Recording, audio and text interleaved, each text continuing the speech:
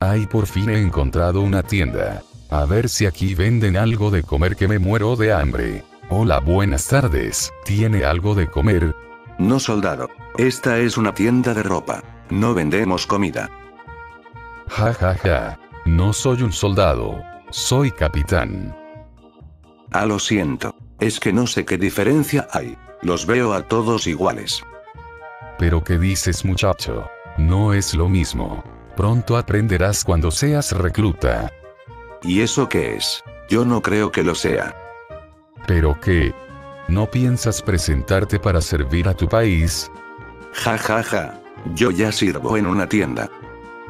Esto no es servir a tu país. Esto es trabajar. No es igual. Sí, pero sirviendo a mi país. Pero bueno, ¿qué más da? No quiero perder el tiempo explicándotelo. Tengo muchas cosas que hacer.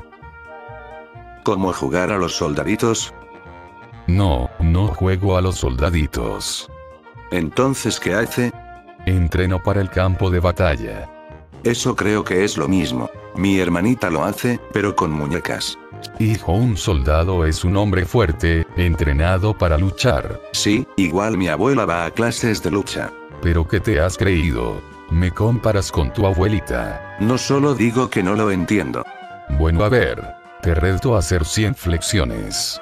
No gracias, no juego a eso, además tengo que trabajar. Eso no es un juego. Cuesta muchísimo. Ja ja ja. Yo hago mil.